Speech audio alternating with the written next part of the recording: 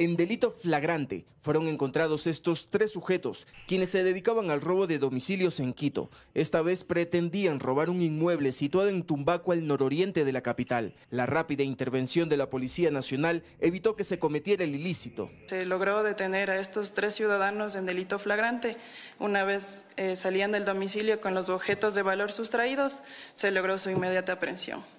Estas imágenes corresponden a los mismos delincuentes que robaron en un edificio situado en la avenida Brasil en el norte de Quito. Uno de ellos registra ocho detenciones. Se procedió a la detención de tres ciudadanos de nacionalidad colombiana.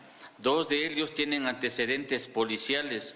Uno de ellos tiene ocho detenciones eh, realizado por el personal de la Policía Nacional. La Policía Nacional desde febrero de este año estaba tras la pista de la organización delictiva, quienes usaban herramientas artesanales para forzar los ingresos de los inmuebles, de ahí que operaban cumpliendo diferentes roles. Como son ejecutores, campaneros, seguridad, entre otros.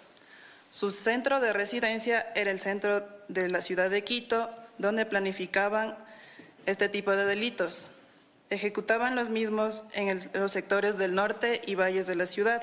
En poder de los ciudadanos se encontraron varios artículos, incluso joyas que a decir de la autoridad eran vendidas en plataformas digitales. Finalmente un juez dictó prisión preventiva para los tres sujetos.